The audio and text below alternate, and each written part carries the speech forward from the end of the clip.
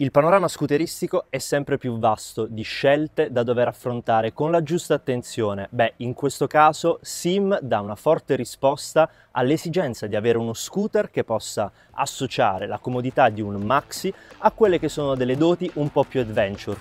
Sim ADX 300. Andiamolo quindi a provare insieme in questo primo contatto.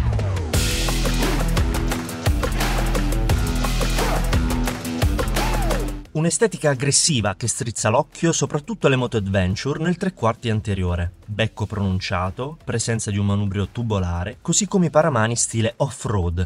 Nella parte alta il parabrezza è stretto con un trattamento in colorazione nero fumè. Le forme sono tagliate e ne snelliscono tanto i suoi volumi. Sella ampia, accogliente anche per un altro occupante. Noi, il rider, siamo dal suolo a 790 mm.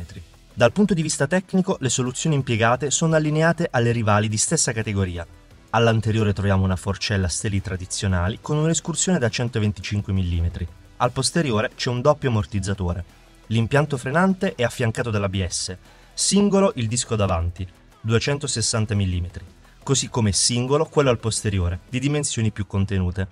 Una volta saliti in sella a questo ADX 300 di Sim, notiamo subito la principale caratteristica della seduta, ovvero il nostro fondoschiena è perfettamente collocato all'interno della sella, come se ci fosse una predisposizione tale da indicarci quella che sarà la nostra posizione per tutto il tempo del suo utilizzo. Qui sui colli del Piacentino stiamo anche testando ovviamente le sue doti soprattutto su un manto stradale viscido, umido, come in questo caso.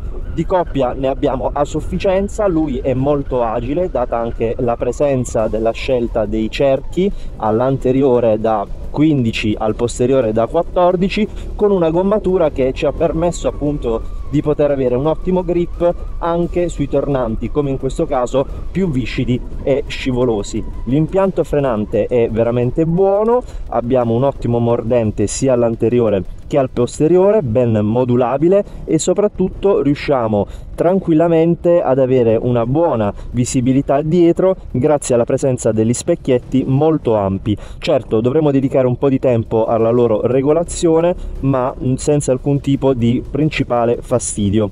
La nebbia quest'oggi sui colli piacentini è veramente fittissima, ma non ci sta impedendo di provare e testare tutte le doti di guida di questo ADX 300, come in questo caso appunto un asfalto del tutto sdrucciolevole, molto sporco, proprio per mettere alla prova quelle che sono le caratteristiche ADX, di conseguenza Adventure, di questo scooter dal motore veramente brioso, rotondo, con un'erogazione progressiva data appunto da questa coppia di 26 Nm e 26 cavalli a spingerlo il manubrio della giusta dimensione rivolto verso il rider Unico aspetto negativo, abbiamo un angolo di piega in negativo del ginocchio leggermente fastidioso. Io sono alto circa 1,85 m, qualcosa di più, e trovo una posizione delle pedane leggermente più alta rispetto a quanto la vorrei.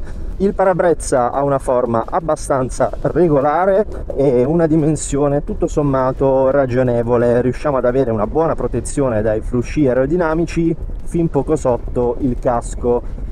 Ad aiutarlo per la nostra protezione ci pensano anche i paramani che in questo caso vanno anche a proteggerci dai sassi che potremmo prendere in questo tratto off-road dove ADX 300 se la cava tutto sommato bene. Andando quindi a confermare quelle che possono essere le sue doti di leggerissimo off-road. Ovviamente l'escursione all'anteriore è contenuta, parliamo di circa 120 mm, mentre per quello che riguarda il posteriore abbiamo un doppio ammortizzatore.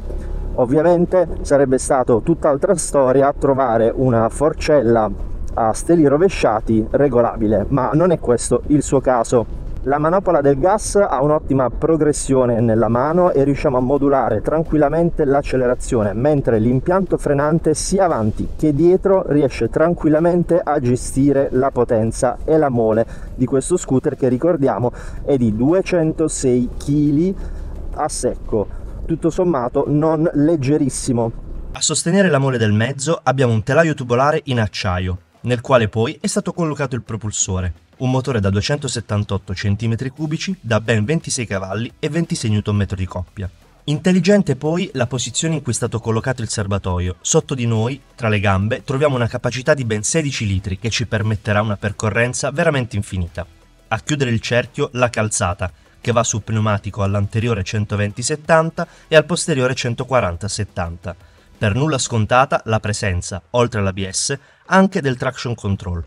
E anche qui in quest'altro tratto di off-road riusciamo tranquillamente a gestire la DX300 per quanto appunto lui sia uno scooter e non una moto adventure il comportamento è veramente ineccepibile. Altro passaggio su una buca. Comportamento ottimo. Sicuramente nel contesto cittadino supererà senza alcun tipo di problema qualunque tipo di imprevisto la nostra rapida prova è purtroppo terminata, 4.699 euro franco concessionario. E questo il prezzo di partenza per portarsi a casa il nuovo Sim ADX 300 e voi cosa ne pensate? Fatecelo sapere qui sotto nei commenti, iscrivetevi ovviamente al nostro canale attivando anche la campanellina delle notifiche. E soprattutto seguiteci anche sugli altri nostri social, il nome è semplice ed è WeDrive.tv.